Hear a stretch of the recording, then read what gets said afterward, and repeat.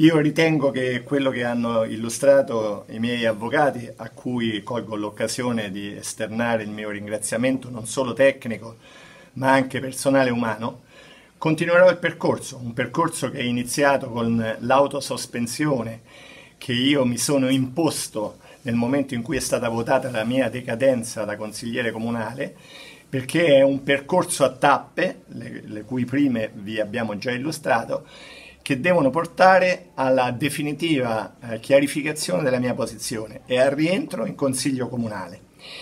Quindi il mio obiettivo è rientrare in consiglio comunale. Lo farò attraverso i fatti, come ho chiarito la questione Bollettopoli, come ho chiarito la questione Meracron, chiarirò anche la questione sulla mia decadenza.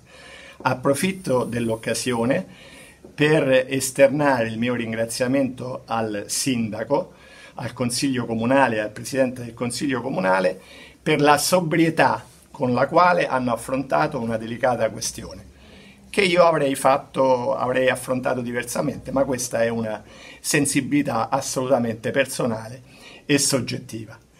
Vorrei concludere questa eh, mia breve intervista dicendovi che io perseguo la ricerca della verità.